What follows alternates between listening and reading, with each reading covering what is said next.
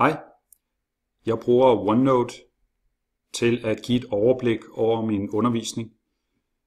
Man kan skrive og tegne i OneNote med øh, den elektroniske pen, når man har programmet kørende på øh, den elektroniske tavle. Så er der mulighed for at lægge dokumenter ind i OneNote, billeder, links. Så på den måde giver det et godt overblik over, hvad der er foregået i undervisningen. Øh, det betyder også, at jeg ret hurtigt kan se, hvad der tidligere er foregået. Altså, hvad lavede jeg i sidste time? Øh, og kan hurtigt samle op derfra, når jeg skal forberede mig. Det er meget nemt at dele sådan en øh, OneNote notesbog med eleverne, for det sker alt sammen øh, synkront via nettet og skyen, sådan at hver gang jeg laver en ændring på tavlen eller i min OneNote notesbog, øh, så kommer den automatisk ud til eleverne. Jeg skal altså ikke uploade noget, eller eleverne skal ikke downloade noget. Det foregår helt automatisk.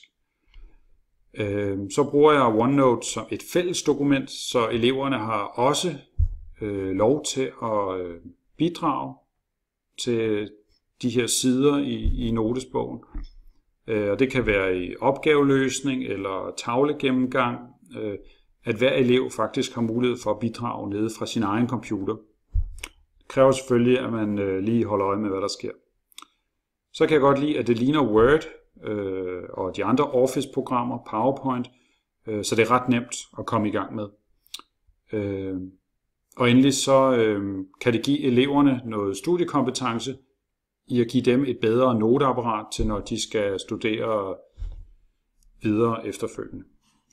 Øh, jeg kan kort vise et eksempel på, hvordan øh, sådan en notesbog i OneNote kan se ud.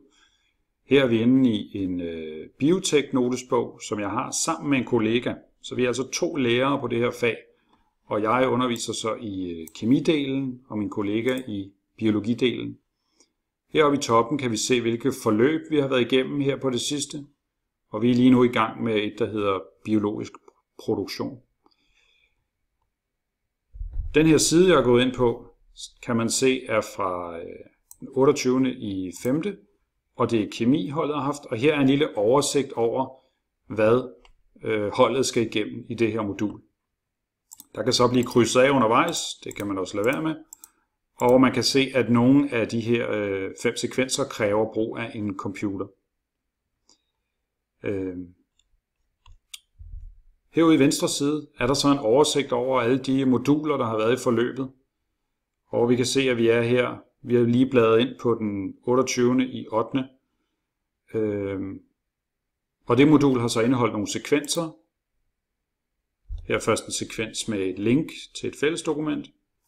Så kommer der noget, det er en introduktion, en, en tavle gennemgang, hvor jeg har sat nogle overskrifter og nogle figurer ind.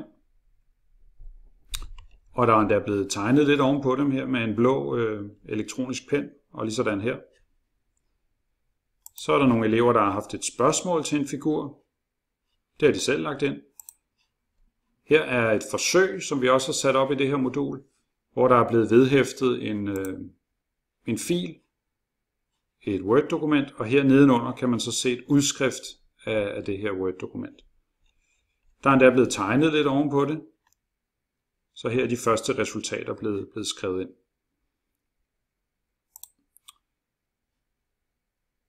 Jeg kan også se, hvad min kollega har lavet. Han har som sagt biologi, og sidst han havde dem, var her den 4. i 9. Og der kan jeg så se, hvad der er foregået i, i hans modul. Så på den måde øh, kan vi hurtigt se, hvad der er sket i undervisningen, og øh, på den måde få et bedre samarbejde. Men det var kort om, hvorfor jeg bruger OneNote.